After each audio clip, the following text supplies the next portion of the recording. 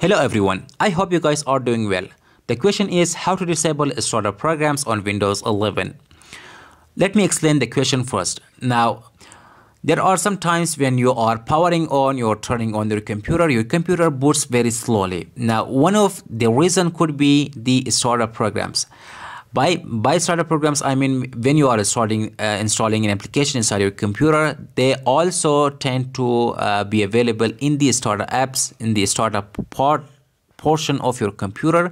And then when you are turning that on it is interfering with the boot.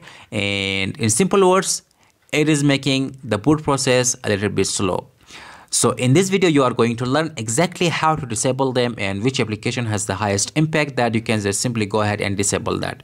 Okay, the first method that I have in mind is using the task manager. All you have to do is right click on the uh, taskbar and now choose task manager. Now, once you are there, you have to go to this option, which is called the startup uh, apps. You can just simply uh, hover your cursor and you will notice that the name will appear startup apps. Now from here, you can see that all of the currently installed applications and their startup uh, status and the impact. Now now the moment they are installed inside my computer i have disabled uh, each one of them. That's why it's not showing me any impact. However if you continuously use uh, them they will show you the startup impact. Now to disable it all you have to do is right click on that and choose disable as you can see now that is enabled. If i have to disable that all you have to do is disable. And as you can see you have to do uh, apply all of them across the entire application.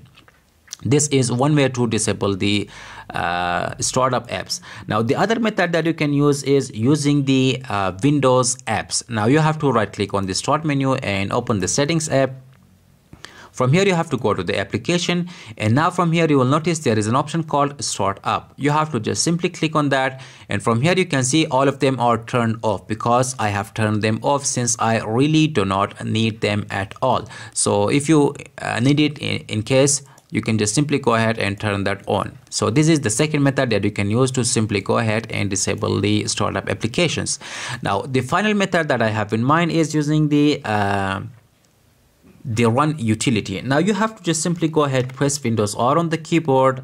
Uh, it's going to open the run dialog box. So you have to just simply go ahead, type shell uh, semicolon start up. Now this is the command uh, that, that you can see here. Let me zoom that for you so you can see what do I mean. So shell startup. All you have to do is just simply click OK and it's going to open the uh, startup applications here. Now you have to do uh, now in case if there were applications available you have to just simply go ahead delete those shortcut application from here and they will not bother you again with the startup process. So these are the three methods that i have in mind that you can simply go ahead and use it to disable the startup programs. Now keep in mind that you can always use the uh, registry editor to disable them uh, there is also the PowerShell method. However, I uh, do not tend to get into the more complicated stuff to the users since it is basically for the uh, Windows 11 for newbies or for beginners. So if you have other simple method in mind, let me know in the comment section. I'll be happy to embrace that.